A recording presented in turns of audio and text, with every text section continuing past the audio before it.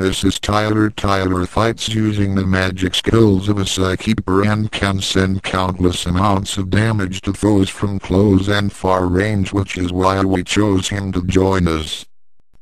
This is Bella. She has the abilities of a powerful Billposter with her legendary golden knuckles. She can rip a foe's insides right out without struggles or difficulties and believe me she has done it before.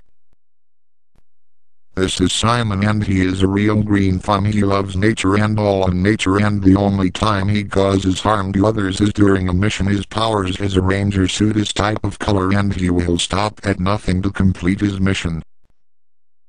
And finally this is Ted he also has the powers of a billposter his powers may not always be out there when we need them but when we truly need his help he is always there with us fighting he also has a strange loving for his baby dragon which is much weaker than all of ours, but he thinks it has true potential. We are powerful, we are strong, we are capable, we are assassinators.